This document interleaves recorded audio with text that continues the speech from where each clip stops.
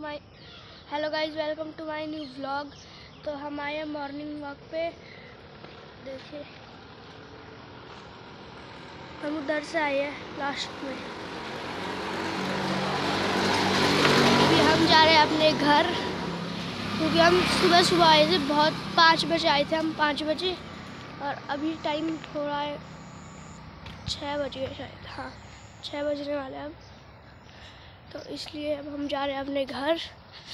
अभी इधर एक ऊपर जहाँ से वो कार आ रही है वहाँ है एक मंदिर।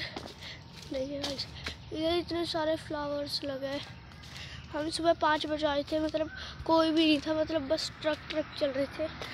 हाँ कार्स इस टाइम आ जाती है फिर टेंपू ऐसा कुछ आ जाता है देखिए